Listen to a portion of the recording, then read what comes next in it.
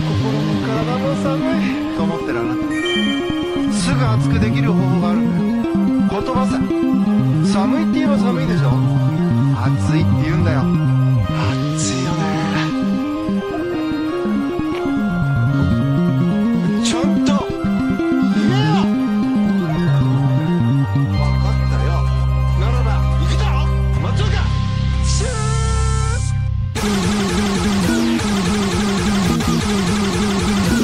よろしくお願いいたします。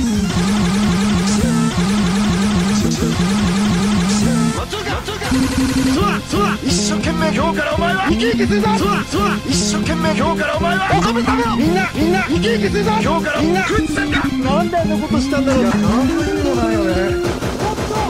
熱くなれよ世間はさ冷てえわみんな君の思いが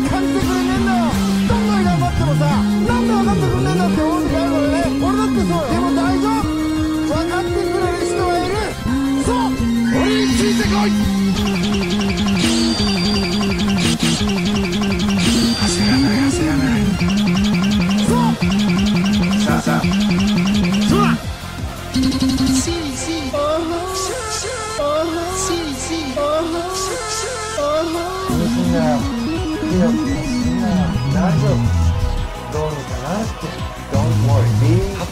めんなよ諦めんなお前どうしてそこでやめるんだそこで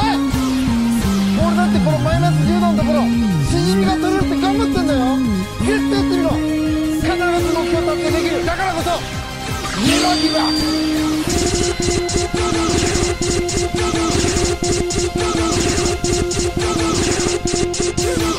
松岡